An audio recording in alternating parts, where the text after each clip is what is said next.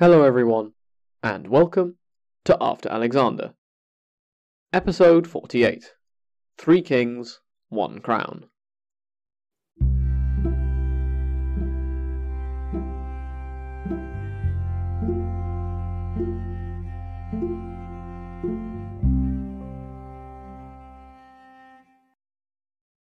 As we hinted at when Antiochus II died in episode 45, the political world he left behind him was an uncertain one.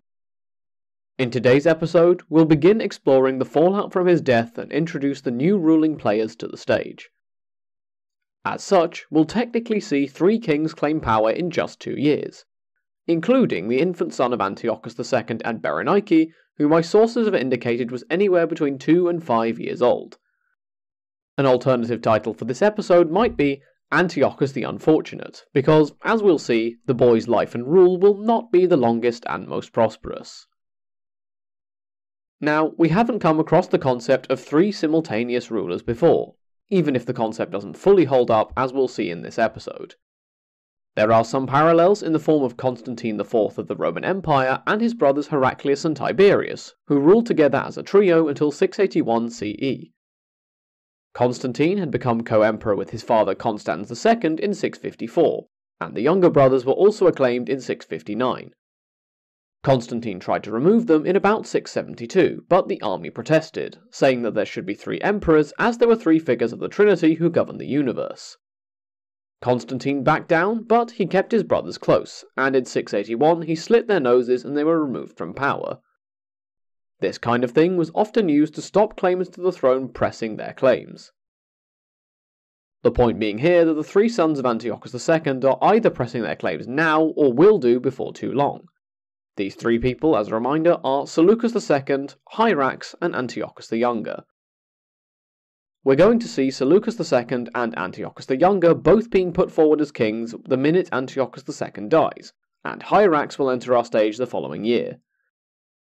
For the purposes of this episode, I'm going to describe both series of events here, which happen in 246 and 245 BCE. We'll then focus on the politics of what happened in this episode in next episode. The point of what we're talking about today is to show how chaotic the period just after the death of Antiochus II is. You can say goodbye to the smooth transition of power Antiochus II himself experienced in 261 BCE. It's a new world now. The two adults we're going to focus on are Seleucus and Antiochus Hierax, the sons of Antiochus II and Laodike I. So, let's introduce them to our Hellenistic stage. Seleucus, referred to from here on out as Seleucus II, was born in July or August of 265 BCE, making him either 18 or 19 in July 246 BCE. Wikipedia doesn't have a birth date for Antiochus Hierax, who I'm going to refer to by this common epithet to avoid confusion with his half brother. However, it states he was 13 years old when his father died, which would place his birth at around 259 BCE. Bevan notes that Antiochus was labelled as 14 years old in 240 by Justinus, placing his birth in 254 rather than 259. However, I'm going to go with the date of 259 BCE, making him about 6 years younger than his brother. To place this in the context of our previous episodes, Seleucus II would have been born about a year after the death of his uncle and namesake, Seleucus the Young King. Antiochus Hierax would have been born after the death of his grandfather Antiochus I, and in the year the Second Syrian War started in our narrative. So, let's recap who exactly we're dealing with, as there have been a lot of names flying about of late, most of them admittedly being Antiochus. The people we're going to be discussing are, for today's purposes, called Seleucus II, Hierax, and Antiochus the Younger, now about 19, 13, and 2 to 5 years old, respectively. The mothers of these three boys and men are Laodike I, the first wife of the old king, and Berenike, his second wife. When their father died, Seleucus II and Hierax were in Ephesus, in Anatolia, with their mother, while Berenike and Antiochus the Younger were in Antioch. Seleucus II was proclaimed king by his mother, and Berenike declared her son Antiochus the Younger as king and herself as his regent. Antiochus the Younger was recognized in Antioch, Seleucia, and possibly the cities of Syria. It's at this point, after we've seen two of the sons acclaimed as king, that I'm going to briefly talk about Antiochus Hierax, as he will claim to be king in later years but doesn't show up yet at this point in our story. We'll deal with him more comprehensively in a later episode, but the point is just to introduce that all three sons claim the crown, and emphasize the chaos of the period following Antiochus II's death. Hierax became a monarch himself in Sardis, and the majority of my sources say he was the active party rather than being proclaimed by someone else. To quickly summarize from Justinus, Seleucus II would ask his brother for help after losing a battle to Ptolemy III in the near future of our narrative. He would give Hierax control over everything west of the Taurus Mountains in return. However, the 14 year old Hierax wanted the whole empire and would go to war against his brother, the chronology I've got would therefore place his rebellion in 245 BCE, so in the future from our point of view, and Hierax would basically declare himself independent. So, technically, there were three kings in the Seleucid Empire across only two years, hence the title of today's episode. As a recap, as we covered in episode 45, there's disagreement about whether Laodike I poisoned Antiochus II or whether he died of natural causes. Grainger comes down on the side of natural causes, popular sources advocate poison, and Bevan doesn't really commit to either side as to whether she'd done the deed or if it was just perceived to be the case. Justinus makes no comment about it either. Speaking of deaths which the sources don't agree about, it's time to say goodbye to Antiochus the Younger.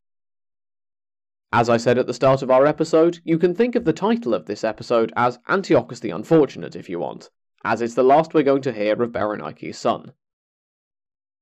I've seen different accounts for what happened, so I'm going to list what I've seen and then come to my own conclusion. One version has it that those loyal to Laodike killed Antiochus the Younger at the end of the summer of 246 BCE. Alternatively, Laodike I herself killed both Berenike Syra and Antiochus the Younger, which may have been in retaliation or to stop intra imperial conflict. As a quick note, if it's this version of events, the latter aim doesn't really work out with these actions, because Seleucus II and Antiochus Hierax will be fighting amongst themselves for the next 17 years.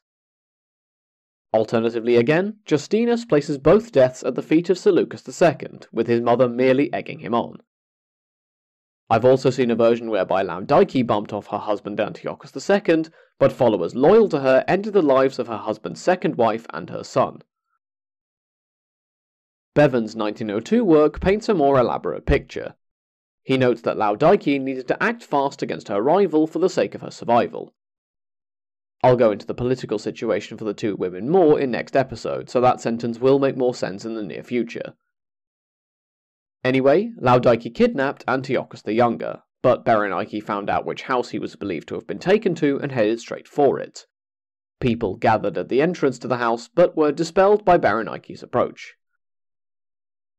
Sometime later, when it wasn't clear if her son was alive or dead, Berenike played into the pro Berenike feeling in the city of Antioch, and the people keeping her son were therefore forced to act. They brought a child out and labelled him as being Antiochus. These people were powerful enough to avoid giving this child up to Berenike. However, they were forced to make a deal with her whereby she and a guard of Galatians were allowed to take up residence in an area of the palace in an area called Daphne, which could easily be defended.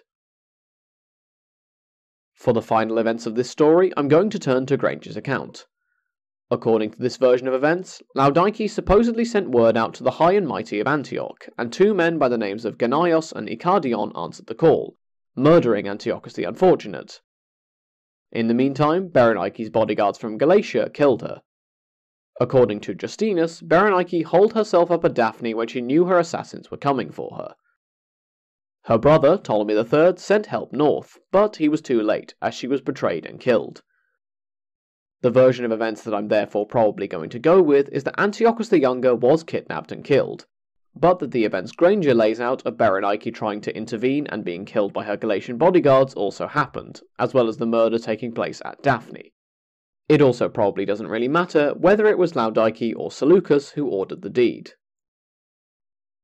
Antiochus the Younger was anywhere between two and five years old, and had nominally held the crown for just under a year. However, while this is the short version of events, it isn't the full story. What exactly was going on behind the scenes? In the next episode, we will dive into what exactly Laodike and Berenike were doing, following the story from both their perspectives from the moment Antiochus II died. We'll also see what the political reality exactly was, and what any of this has to do with Ptolemy III of Egypt and the looming Third Syrian War. Until then, thank you all for listening. Feel free to get in touch at the show's email address for any questions, comments, or topic suggestions for future Tangent episodes.